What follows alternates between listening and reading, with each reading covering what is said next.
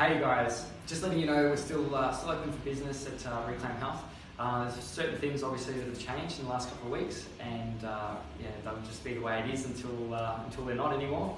Um, the other thing I wanted to uh, let you know about was our Instagram account. We've got about 40 videos all lined up, free information. So have a look at that, and yeah, enjoy all the information that's coming your way. Thanks for watching.